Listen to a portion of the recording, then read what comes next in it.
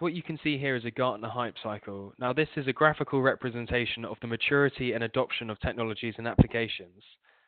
So if I scroll down and show you this one, this is for emerging technologies within 2018. So down here at the bottom left, you can see this starts with the innovation trigger. So it shows the introduction of a new technology or one that isn't really commercially viable yet, but still produces a large amount of excitement within that market. What this allows you to do is to click into each of these and to, to learn a bit more about what that is. So 4D printing as an example, and then it provides a justification to why it's in that position um, in terms of its maturity currently.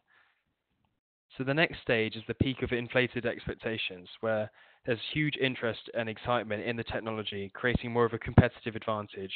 This is not usually um, this is usually reflected by higher prices within the market. And the next step is the trough of disillusionment. So this occurs, um, Gartner's found, when the technology is pushed beyond its limits, and the limitations of the technology are then starting to be realized within their market.